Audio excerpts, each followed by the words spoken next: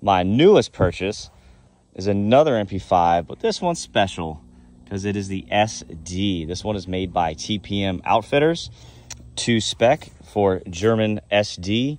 It is ported and we will be shooting 124 grain NATO through it and it should bleed off the pressure just enough to where it's subsonic it still runs the gun. Let's see how it does.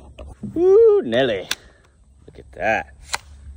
Whew, slap that hoe. Let's go. Let's start off semi-auto here. 124 grain ammo. Oh yeah. Shoot some steel. And let's dump it.